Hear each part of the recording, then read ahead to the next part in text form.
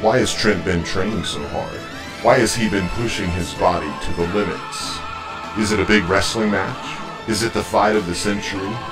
No. It's Dodgeball Tournament 2015.